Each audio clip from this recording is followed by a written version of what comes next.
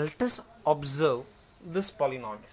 What I have wrote is p of x. This is read as p of x. What will be the meaning of this in this chapter is?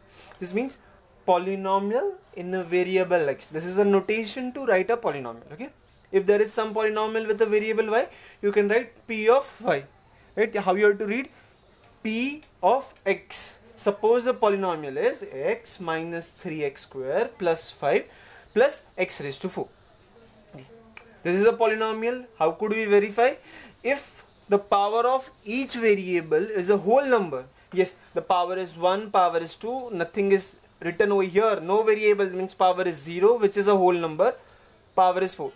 Since the power are whole number, this is a example of polynomial. But if you observe, this is not looking in a good way. Once I see the power 1 then I see the power 2 then I see the power if you observe power 0 over here and then power 4 over here. If I want to rearrange this and write in a some particular way particular in the sense I can write the same polynomial in a standard way. That is I will write the highest power first. What is the highest power among this? Yes the highest power is the last one x raised to 4 is the highest power of x. So I'll write the x raised to 4 first. So x raised to 4 after 4 which is the next highest power?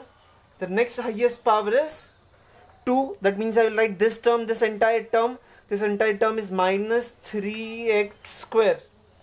After this x square the highest power is x raised to 1 so I'll write this x raised to 1 nothing is written over here. That means there is a plus sign.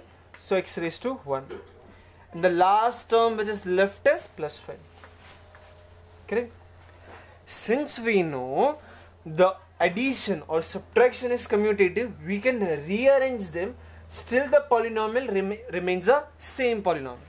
Correct? What we have done we have rearranged the terms of a polynomial in a descending order of their power. Descending order why i'm saying descending order? Because 4 then 2 then 1 then 0 it is a descending order right कम हो रहा है number correct so this this form this form of polynomial is known as a standard form of a polynomial okay but still I feel there is something which is missing after power 4 there is directly a power 2 term correct so I don't like it what I will write I know the same polynomial can be written as x raised to 4 is okay but I want to write this x raised to 3 also because after 4 3 comes right so what i will do i will just multiply that x raised to 3 by 0 so what does it gives? It's 0 i have added 0 still the polynomial will remain the same. Correct? So i will repeat everything as it is but add this a single thing. I just added this term which was missing. After 4 i wanted 3 so i added that x raised to 3 with a 0 sign. 0 as a multiplication. Correct? So this when we rearrange them it's become a standard form of a polynomial correct? And when you include everything which is missing it's become index form. What it is known as a index form. In this 4 3 2 1 0 everything is there correct? Each power has been there. So it is known as a index form. After this if you want after this there comes one more concept which is required that is known as a coefficient.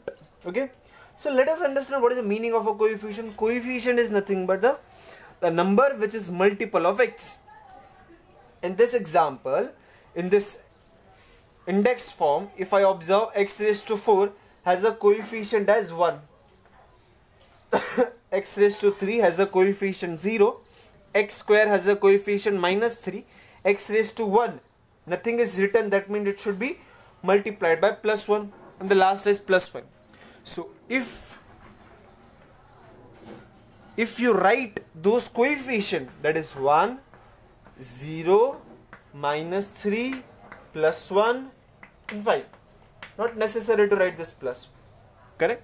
So in this case what we have done is we have just wrote the coefficient with comma separating inside a circular brackets so this is known as a coefficient form. Okay